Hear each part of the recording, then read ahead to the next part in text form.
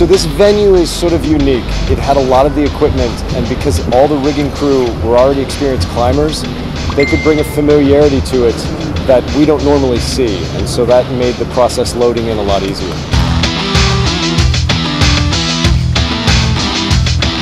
Working at this event with Team Natura was really interesting. It was just amazing to me like how everyone rallied and wanted to do their best all the time. That was really great.